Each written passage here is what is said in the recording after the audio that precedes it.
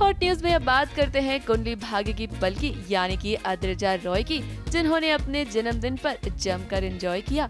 Social media पर अद्रजा ने इस सेलिब्रेशन की काफ़ी वीडियोस भी शेयर की हैं, जहाँ वो पूल में मस्ती करती हुई नज़र आ रही हैं।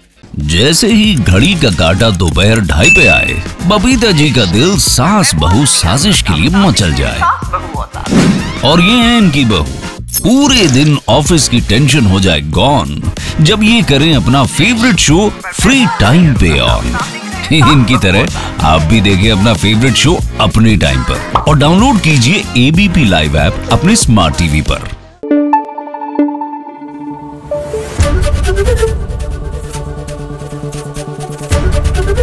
एबीपी न्यूज़ आपको रखे आगे।